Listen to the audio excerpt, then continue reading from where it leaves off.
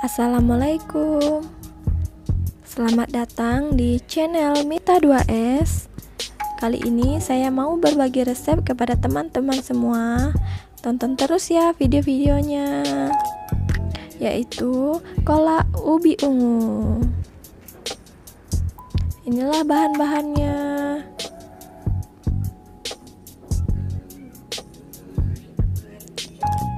Pertama, kita mempunyai 250 gram gula pasir. Ya, yang kedua, kita punya 200 gram gula merah dan 4 buah pisang kepok yang telah matang. Dan ada juga 1 liter santan kental. Kemudian kita ada 2 lembar daun pandan kemudian ada setengah kilogram kolang kaling ada tiga buah ubi ungu.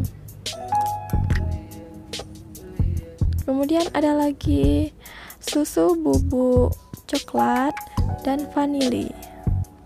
Cara membuatnya yang pertama kita potong-potong ubi ungunya. Potong kecil-kecil ya teman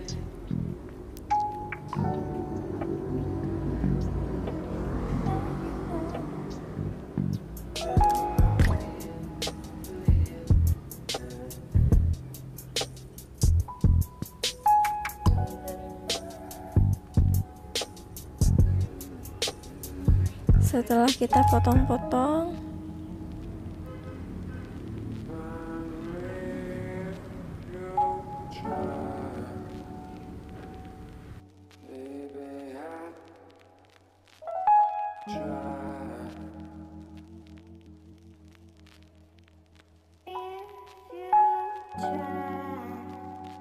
Setelah kita potong-potong, kita masukkan ke dalam mangkuk.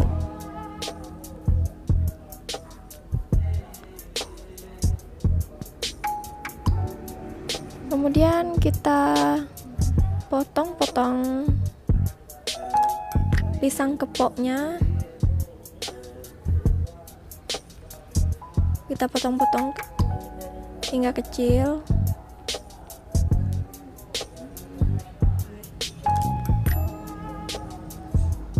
Kemudian kita masak satu liter santan dan ditambahkan dua lembar daun pandan kita masak hingga mendidih. Setelah mendidih, kita masukkan kolang kaling.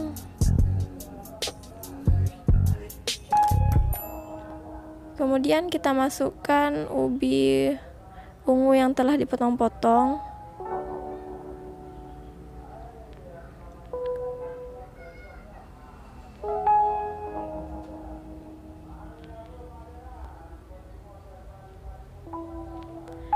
kemudian kita tambahkan gula merah yang telah diiris-iris kecil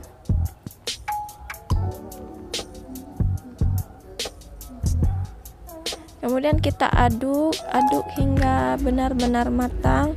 Dan ubi ungunya beserta kolang kalingnya benar-benar masak. Setelah matang kita tiriskan. Kita tiriskan dalam mangkuk ya teman-teman agar bisa kita nikmati. Oke. Kolak ubi ungunya siap kita nikmati. Terima kasih. Terima kasih yang telah nonton. Jangan lupa subscribe ya. Terima kasih